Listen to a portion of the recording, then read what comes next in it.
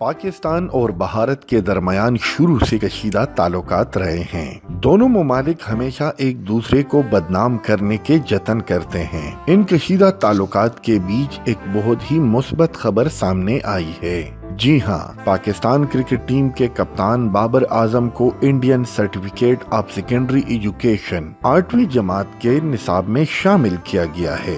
भारत की निसाबी किताब में बाबर आज़म को मशहूर cricketer Sachin Tendulkar, Virat Kohli, Rohit Sharma, M S Dhoni और दीगर के साथ शामिल किया गया है। सोशल मीडिया पर गर्दिश करने वाली तस्वीर में देखा जा सकता है कि किताब में क्रिकेटर्स के उर्फी नामों पर मुश्तमिल सवाल लिखा गया है। किताब में लिखा गया है कि भारत में क्रिकेट सबसे ज़्यादा पसंद किए जाने वाला खेल है और क्रिकेटर्स मशहूर शख्सियात हैं। क्या आप अपने पसंदीदा क्रिकेटर्स के उर्बी नाम जानते हैं तलबा से सवाल में कहा गया है कि वो क्रिकेटर्स को इनके उर्बी नामों से मिलाएँ। सोशल मीडिया पर शेयर की गई तस्वीर में जवाबात में बाबर आज़म का उर्बी नाम बोबी लिखा हुआ है व्यूवर्स आप हमें कमेंट करके बताएँ कि ऐसे सख्त और कशीदा हालात में हिंदुस्तानी तालीमी निसाब में बाबर आज़म का नाम शामिल होना इसको आप किस नज़र से देखते हैं? आप इस बारे में एक कमेंट करके हमें आगाह करें।